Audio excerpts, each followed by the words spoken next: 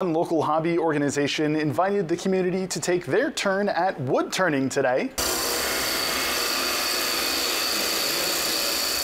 Eastern Maine Woodturners hosted the Turnaround Workshop today at the United Technology Center in Bangor. No matter the skill level, beginners to experts were invited to get hands-on experience, learn and share skills, and make new connections in the hobby. Organizers explained why forming new hobbies is so important and what woodturning is anyway.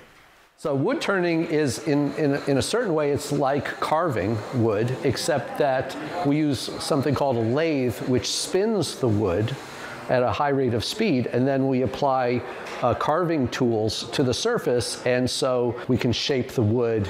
I always tell people, I says, the time to develop a hobby isn't when you retire. You develop your hobby beforehand so you can enjoy it in retirement. The turnaround workshops happen twice a year, but the Eastern Maine Woodturners meet every month during their August to May season. For more information, visit them on Facebook at Eastern Maine Woodturners.